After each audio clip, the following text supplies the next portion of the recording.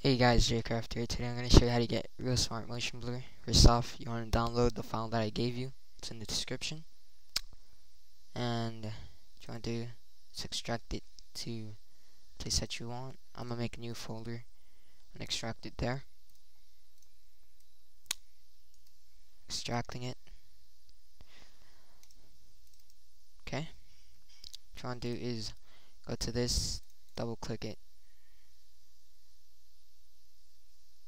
next, next, yes, and then what you want to do is go to the readme and copy this. Well, if it's in your C drive. And then you'll click on next, next, then install demo or floating LIC version.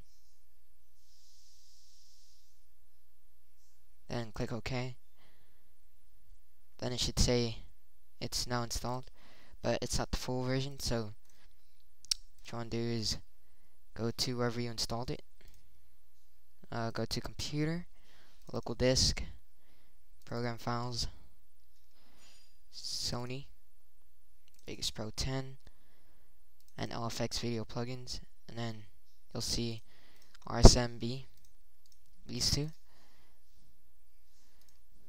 are the same files as these two. What you want to do is replace them with this.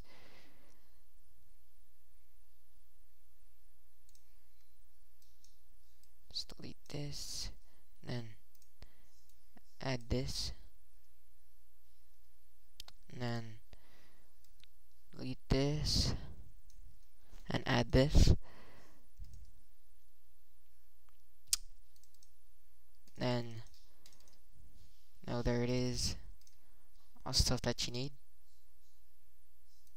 Add this too. I should only have those two folders. And then want to open up Sony Vegas.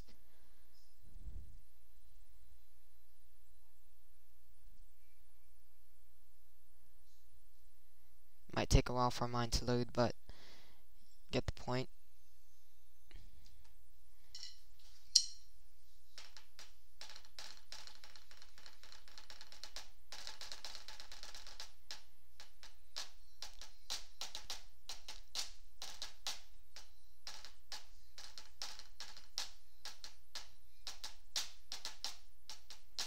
Alright, it's still loading right now.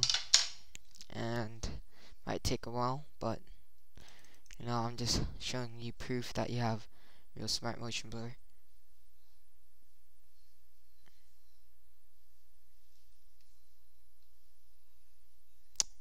Let's cancel this.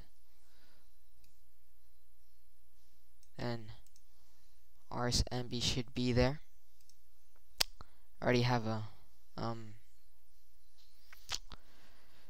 whatever that is.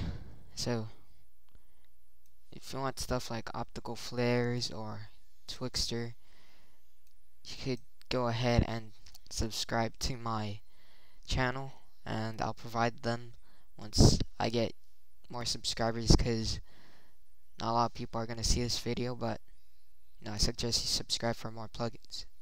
Thanks for watching. This has been Jcraft.